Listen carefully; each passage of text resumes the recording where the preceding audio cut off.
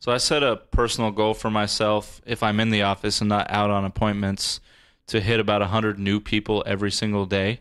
Most of those people I'm reaching out to through email by using LinkedIn and those tools that I mentioned to find those people.